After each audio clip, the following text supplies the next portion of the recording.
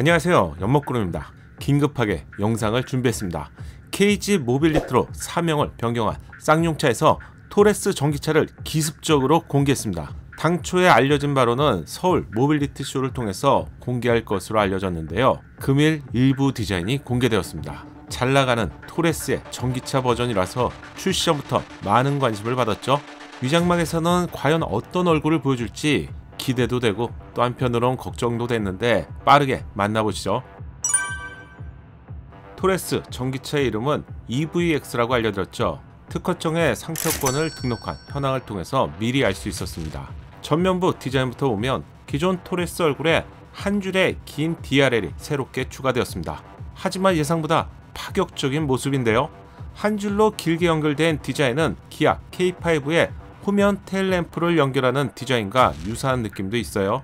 자세히 보면 양쪽은 좀 더 길고요. 중앙에는 총 6개 절치선과 같은 LED가 연결된 디자인입니다. 이 디자인만으로도 마치 미래에서 온 차량 같은 느낌을 잘 부각시켰네요.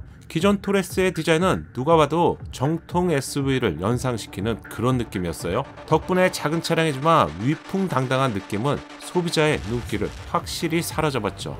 토레스 EVX는 미래지향적이고 한편으로는 하이테크한 느낌까지 받을 수 있네요. 한편으로는 틀이 같기 때문에 작은 디자인 변화가 적용된 것인데 이렇게나 다르게 보이다니 쌍용의 디자인 기술력을 인정할 수밖에 없네요.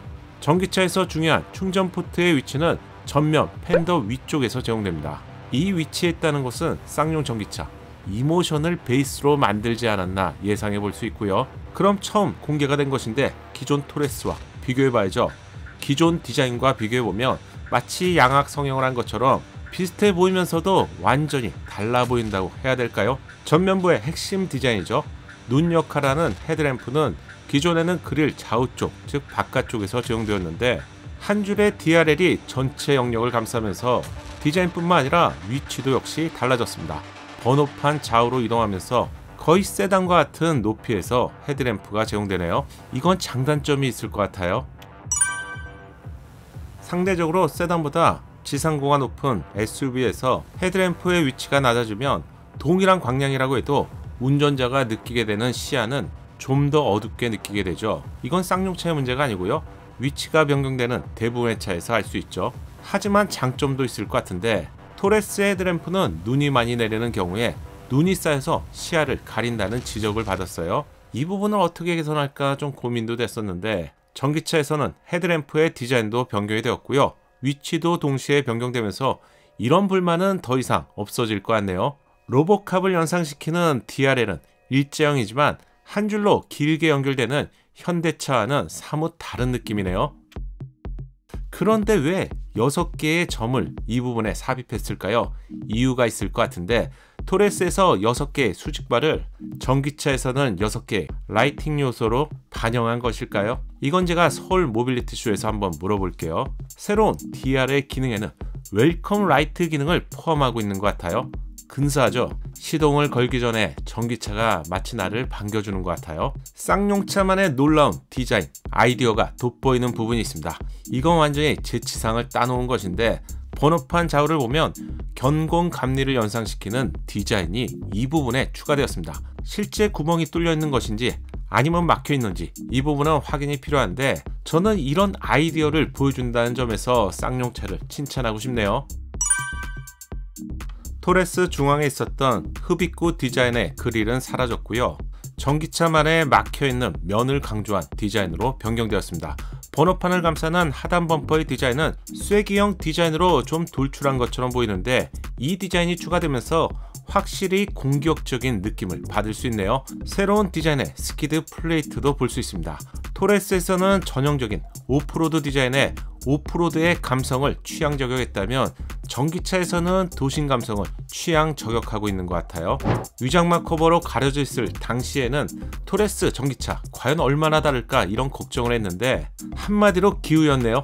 디자인도 다르고 느낌은 더욱 다르고 기존의 쌍용차는 차량마다 좀 비슷비슷해서 크기만 좀 다른 대중소라는 별명을 달고 있었죠. 하지만 토레스만큼은 완전히 달라졌네요. 방향지시 등 또는 비상 등이 작동되면 확실한 개성을 강조하네요. 이제 쌍용차도 통합된 DRL을 사용하면서 확실히 첨단 느낌의 디자인을 연출하는 것 같습니다. 제가 보기에 이 정도면 멋진데요.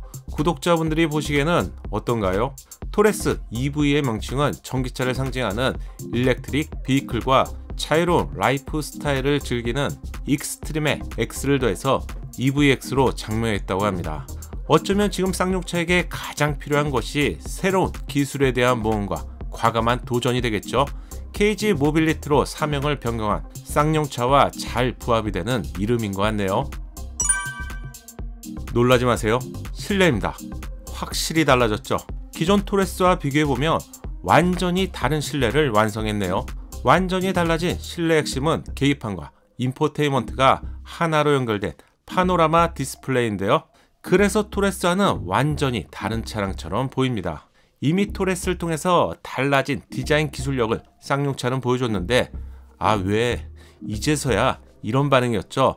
진작부터 잘할 수 있었는데 확실히 젊은 디자이너의 힘이 느껴진다고 할까요? 세부 스펙은 이번에는 공개가 되지 않았기 때문에 서울 모빌리티 쇼를 위해서 일부러 남겨놓은 것이겠죠. 따라서 눈으로 보기에는 계기판 한 10인치 정도, infotainment는 12인치 정도로 예상되는데 예상보다 큰 사이즈로 보이네요. 정확한 자료가 공개된다면 한 번 더 알려드릴게요. 참고로 계기판 UI는 완전히 달라졌습니다. 새로운 계기판에는 지도와 같은 기능이 추가될 수 있을지 사실 쌍용차가 이런 부분을 잘하고 있기 때문에 궁금해지네요. 운전자가 항상 사용하게 되는 스티어링의 디자인은 기존 디자인과 동일하고요. 핸들 하단 쪽은 사각형 디자인으로 운전자 보조 기능을 사용하는 경우에 편하고 안정적인 느낌이라고 시승기에서 알려드렸죠. 여기서 중요하게 봐야 될 부분이 있습니다. 바로 steering wheel 중앙에 있는 로고인데요. 일부러 그렇겠지만 각도상 잘 안 보여요. 그런데 중앙 쪽이 비어 있죠. 이렇게 된다면 두 개의 원이 겹치는 이 디자인은 확실히 아닌 것 같고요. 혹시 그럼 이 디자인과 비슷할까요? 아니면 이 디자인에 KG 모빌리티의 디자인을 mix and matching했을까요? 이것도 서울 모빌리티 쇼를 위해서 일부러 숨겨놓은 것이겠죠. 변속기는 기존 토레스의 방식과 동일한 것인지 steering wheel 하단을 보면 column type은 보이지 않습니다. 공개된 디자인을 모두 보셨는데요. 결론적으로 토레스 전기차 EVX는 쌍용차가 달라졌음을 잘 보여주는 것 같아요. 토레스 전기차에 대한 여러분의 생각을 댓글로 알려주세요. 제가 준비한 영상은 여기까지입니다. 즐겁게 보셨다면 좋아요로 격려해주세요. 세부 스펙은 서울 모빌리티 쇼를 통해서 공개될 것으로 예상되는데 제가 현장에서 정확한 소식을 알려드리겠습니다. 구독과 알림 설정을 통해서 다음 소식도 자동으로 받아보세요. 감사합니다. 작은 도움이 되셨다면 좋아요 부탁드리고요.